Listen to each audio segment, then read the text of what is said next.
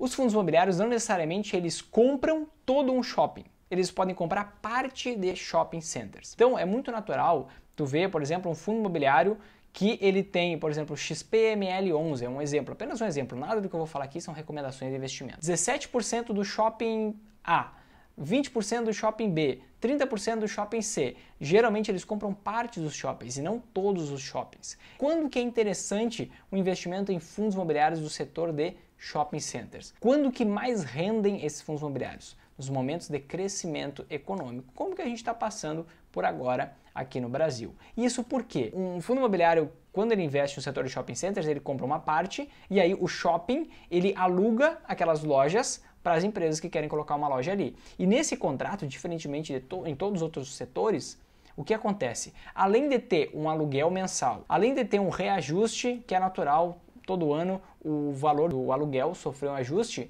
tem também previsto um percentual das vendas das lojas que estão inseridas dentro dos shopping centers. Então, nos momentos de crescimento econômico, as pessoas estão mais empregadas, o desemprego está diminuindo, as pessoas estão com mais dinheiro no bolso, as pessoas passeiam mais, as pessoas vão no shopping mais.